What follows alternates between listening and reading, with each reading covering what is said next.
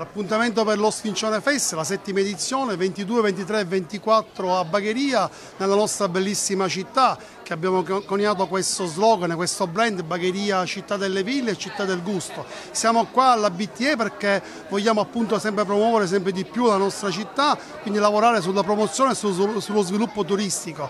E oggi in questa bellissima location stiamo lanciando questo bellissimo evento eh, che creerà sicuramente eh, la possibilità di ricevere tanti turisti ma tanti cittadini del comprensore che potranno appunto apprezzare questa prelibatezza. Una stazione giunta alla settima edizione, è una stazione che cresce, che cresce anche in termini di espositori, di aziende. Stavolta verranno anche tanti operatori pure dal, fuori dal, dallo stretto di Messina. Una stazione che ha una, una vocazione anche, una proiezione nazionale.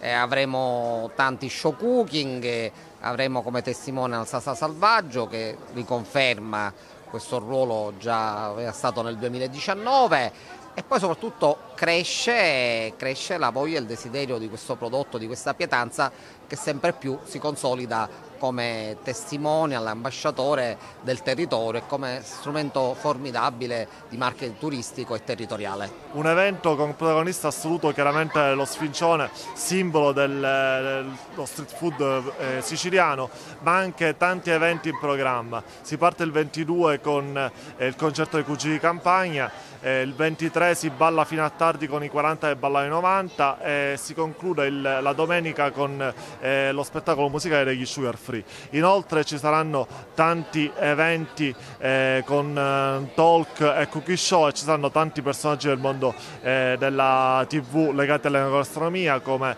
eh, Giusina Battaglia, come Andy Luotto, ma anche tanti chef stellati, tra tutti Tony Lococo e una stella Mission di Bagheria.